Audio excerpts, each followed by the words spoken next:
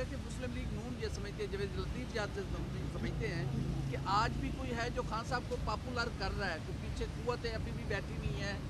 कौन है वो जो पॉपुलर हाँ। करता है लोगों और कितना आसान काम है इस तरह पॉपुलर करना किसी को? अल्लाह की ज़ात। वो बात बिल्कुल सही कर रहे हैं कि कोई ज़ात है जो उनको पॉपुलर कर रही है और वो अल्लाह की ज़ात है। और अल्लाह के बाद अवाम की ताकत और अवाम का भरोसा है जिसको वो तोड़ने का हम सोच भी नहीं अब सकते।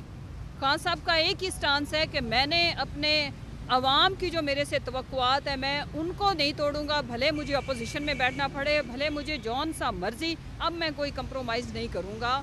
और पहले चूँकि कंप्रोमाइज़ थी हमारी गवर्नमेंट हम अलाल ऐलान कहते हैं कि हमारी पंजाब के अंदर भी मेजोरिटी उस तरह से नहीं थी कि हम स्ट्रॉन्ग किस्म की रिफॉर्म्स या लेजिस्लेशन कर पाते। और वफाक के अंदर तो बहुत ही हालात बुरे थे। एक एम क्यू एम का मूड ख़राब कर दिया जाता था, वो सबको पता है।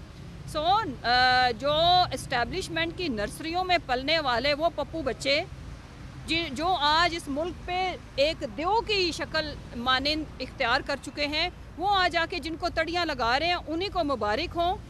लेकिन पाकिस्तान की आवाम इनको दुदकार चुकी है वो दोबारा इनको मौका नहीं देगी। और ये जो जुगाड़ सिस्टम है उसका भी हम इंशाल्लाह मुकाबला करेंगे। वो हमने जुलाई के इलेक्शन में भी किया था।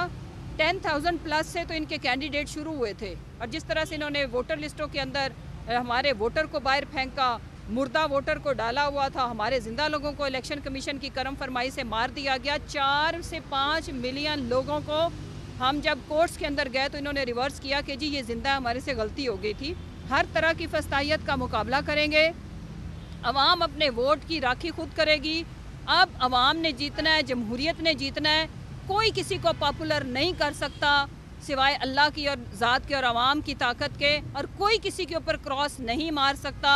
जब तक अवाम ना चाहे, अवाम ने जिन पे क्रॉस मारा है, वो इन उनको माजी बना चुके हैं। ये माजी बनने से घबरा रहे हैं, इसीलिए इलेक्शन से भाग रहे हैं। थैंक ये खुद से मंजूर करवाए जा सकते हैं या अभी ये स्पीकर साहब की मर्ज़ी पे चलते रहेगा बेसिकली तो अकल के अंधे हैं। ये जो काम हम इनसे रिक्वेस्ट करके करवाना चाहते थे, ये हमारी दूसरी मूव से घबराहट का शिकार होकर कर रहे हैं तो थैंक यू वेरी मच